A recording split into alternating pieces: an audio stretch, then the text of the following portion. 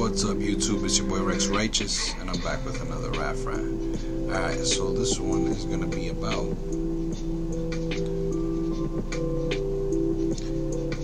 Manny Pacquiao and Keith Thurman PPV generated in the neighborhood of 500,000 buys. So that's pretty good. I mean, people have been saying that boxing is dying and there's been issues, but um, you know, he's definitely a draw. Manny Pacquiao is definitely the reason why that those numbers are that great. So uh, then you got Keith Thurman, the support of Keith Thurman, an American fighter.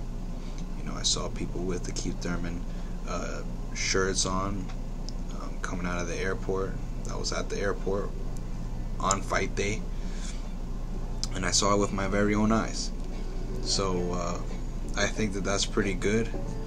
Um, who knows if they do another uh, fight that has nothing to do with Mayweather?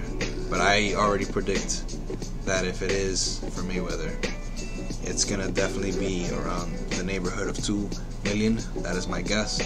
It's not a super educated guess. Um, I'm not actually even an expert in the PPV numbers, but I think 500,000 is pretty good. Um, sometimes people are happy with less than that, but I think for Pacquiao, that's fair. I think that they could do a little more with Errol Spence, um, right? Probably around the 1 million mark. I would think a little less than that, maybe 700 or 800, depending on how things go. But I want to know what your guess is. Please let me know. Subscribe, comment, like, and leave that bell on, man. Peace out. Let's try to keep boxing alive. So it's burning me less. A shepherd to the sheep, a paternity test. We that I'm your father, boy, learn some respect. You feel that? That's my foot on your motherfucking chest. I swear I wrote the book on how to come for your neck.